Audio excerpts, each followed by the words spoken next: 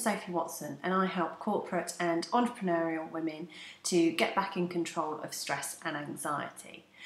I have a few tips for you today because um, there's lots of different elements that go to into stress and causing anxiety. So one of the elements I want to look at today is about anger. Now, whether or not it's you that gets angry or somebody else that you're around that tends to get quite angry, that it has an impact on all of us. Sometimes it can be really good because anger actually helps us to understand um, what we don't want, so then we can actually figure out what it is that we do want. So, I'm going to show you some techniques um, today that you can start using straight away in order to either help yourself or somebody else. So, um, when we get angry, it's normally because our opinion might not be heard. Um, things that uh, we want to change aren't changing quick enough. Um, maybe people just aren't actually listening to what it is or understanding us at all. So, when you find that you're getting into a situation where you're starting to get really angry, you're actually in the middle of having an argument with somebody, or you feel that it start to develop into an argument, the best thing you can do is to actually remove yourself from that situation. Now, by removing yourself, you actually give yourself the opportunity to start calming down, to be able to start thinking a bit clearer, and to not escalate that issue into something really big when it doesn't actually need to be that big. There's much better ways of getting your information across in a more positive way. So, the things you want to actually avoid are um, getting yelling, screaming at the person, um, hitting out, throwing stuff. You don't want to be getting to that point. You want to remove yourself from there. Okay, so the things not to do once you've removed yourself from that situation don't go gossiping about it, don't go blaming the other person, um, drinking, criticizing, overeating unhealthy foods. You want to stay away from all of that because that's the stuff that you're going to end up regretting. Now, the really good things to start doing once you've removed yourself from that situation is to go and do something you know will actually get that anger and that frustration out. So that could be going for a walk, going for a run. You could go take yourself somewhere off to actually go and scream and shout, but be on your own, don't have that person there. Okay? Um, and that will actually help release that tension.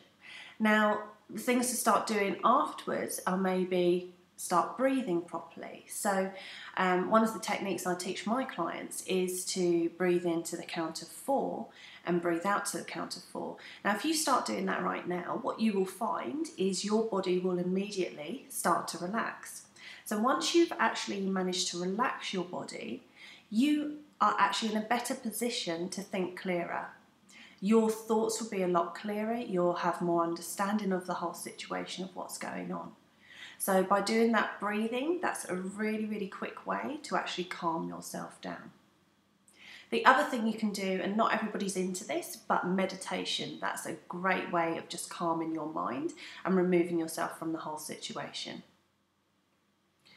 Listening to music. Now, that's a great way to calm us down. Some music will actually get you riled up a bit more. So, I mean, that's quite good in effect because um, you're getting that tension out. But you really want to start once you've got that tension out is to start calming yourself down again. So listening to calming music will help you to start thinking clearer.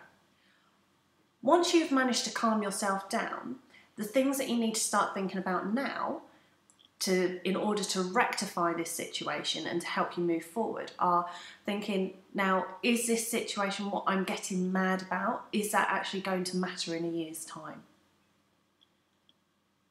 more often than not, I'm guessing that it's not going to matter in a year's time. So, is it really worth you getting so worked up about it?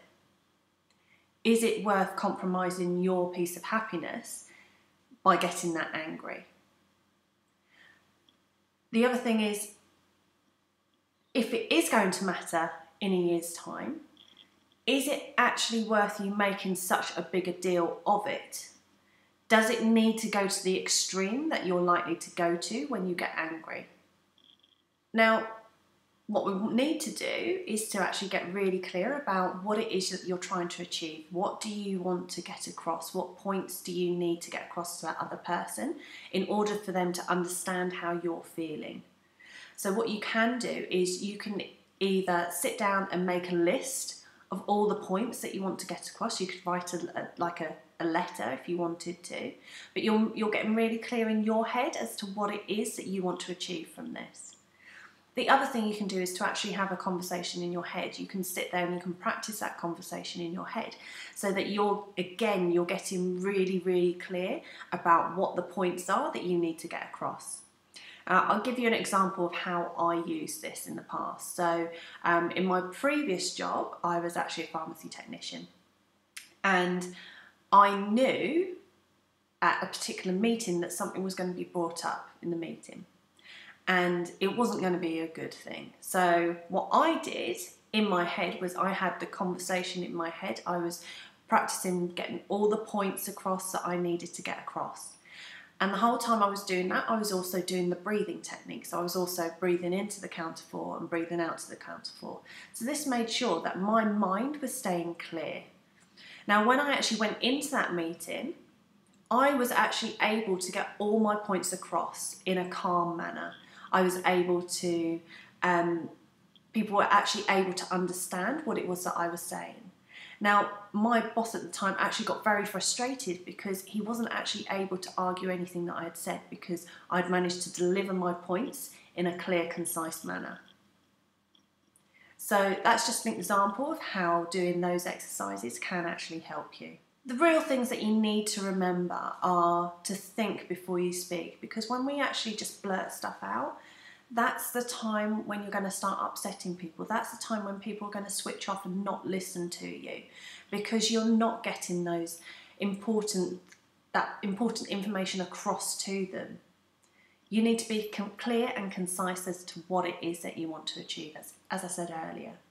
The other thing you need to think, remember, is is basically be willing to compromise. Okay, we don't we don't like being wrong, but sometimes we are, and we need to be willing to actually compromise. And and by compromising, more often than not, we actually get to the situation in which we actually wanted in the first place. So be willing to be a bit more flexible. Be willing to compromise with the other person, and you may find that it actually benefits you in a much better way than you ever thought it could. Now, if the anger is actually coming from somebody else, there's a slightly different way in which you need to deal with it. So remember, whenever anybody's getting angry, it's only because they don't feel as though they're being heard, they're being misunderstood, they um, their points are not being acknowledged. And that's all anybody wants is to have that acknowledgement, to know that their opinion actually counts. So, the best thing you could do for that person is to actually stay calm and actually listen to what they're saying. Acknowledge what they're saying. And when you reply, you need to do it in a calm and relaxed manner. It's no good you getting all pent up by what the other person is saying. You just need to stay calm because otherwise that, that situation, like I said earlier, is just going to escalate.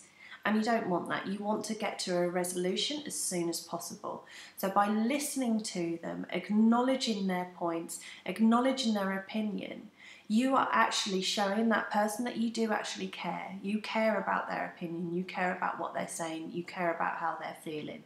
And that is all that anybody wants at the end of the day. So, if you get a text message, you get an email, or you're responding to something in social media, you need to think about it before you actually reply. So sometimes what can happen is you get a message and you'll read it the wrong way. So the best thing you can do if you feel as though you're actually getting worked up by that message is to actually stay, take a step away from it for five minutes and then go back and reread it. See if it actually means the same thing that you thought it originally meant. Half the time it doesn't. So by you actually taking yourself away from it and then replying, you're actually going to um, save yourself a lot of embarrassment because you may have replied with something that you really didn't want to and you haven't got to then backtrack later on. By you actually rereading it, you can get the actual sense of what that person is really trying to say and you can respond in the correct manner. I hope you find those tips helpful. Uh, now, if you are a woman working in the corporate or entrepreneurial world and you would like a bit of help um, to get back in control of stress and anxiety, then please head along to my website on there, you can register for a free session with myself. You just need to complete the box on the home page, submit your details, and Rachel, who is my diary manager, or myself will be in contact with you as soon as possible to book you in. Now, the session's an hour long and it can be via Skype or in person. So it doesn't matter where you are in the world, we can do this session. So just go along, complete your details and submit it and I'll be in contact with you as soon as possible. The website you need to visit is www.sophiewatson-therapy.com.